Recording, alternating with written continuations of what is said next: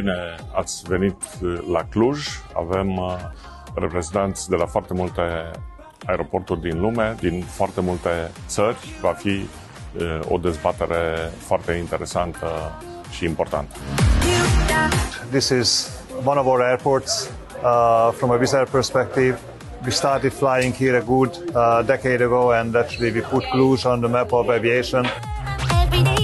I'm so happy to be here in Cluj to attend the aviation event and would like to thank you, Mr. David Sichel, for having us here and having us together in this important meeting, showing that the importance of the interaction, human interaction, and showing that the travel is going back on track again. It's the first aviation event in Cluj, in Romania and in Eastern Europe.